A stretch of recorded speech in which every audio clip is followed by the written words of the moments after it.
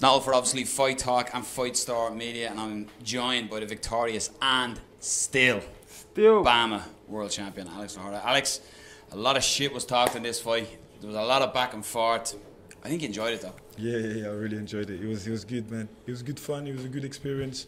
You know, I know you guys, um, Irish, Irish fans, are you know, really behind your fighters and stuff, and really involved in, in the um, MMA sport, and that's why I wanted to fight in here. And you know, the the, res- the reception I had, you know, uh, after winning this fight, even though I beat one of your guys, I still had a lot of, of, of fan waiting for me after the fight, wanted to take pictures and that.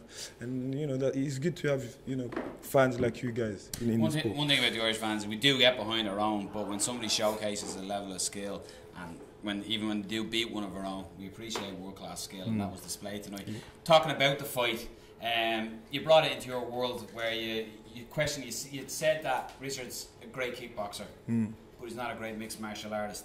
Was that the plan? Was to get in and close the range and bring him to where you drag him into the deep Well, waters? the plan was to, yeah, exactly, do what I do, MMA. So wherever I could take the fight, where where I saw that you know um, I was better, that's where I would take the fight. And no, you know, there's no point taking risk. You know, I'm, I'm still young and I want to keep active. So the quicker I can finish the fight, the quicker I can get back into training and take another fight. Something called for in the cage. We'll come to that in a minute. But with the finish, were you surprised you were on top and you were landing shots? Did Richard's ground game surprised you that he was able to reverse, or were you happy to go with that? That you were looking for the knee guard? Yeah, no, you know, I was, I was, you know, he was defending well the takedown. I, I thought it was going to be easier to kind of keep him down and move him around, but he, I think he, uh, he prepared well for, for, for the ground game, and yeah, he did, he did a good job. So moving on to you said you want to stay active. Newcastle coming up. There's another SBG fighter you're calling the name of. Yeah, Ion Pascu, I think that's his name. Yeah, let's get it on, let's get it on.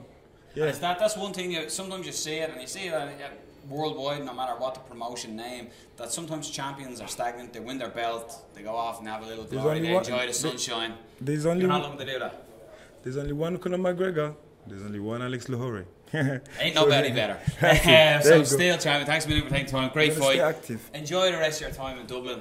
Thank you. Yes, yes, we're going a to go pint and of party the now. black stuff. You'll enjoy it. The cream's only gorgeous. Get down there. Okay, Congratulations. thank you very much.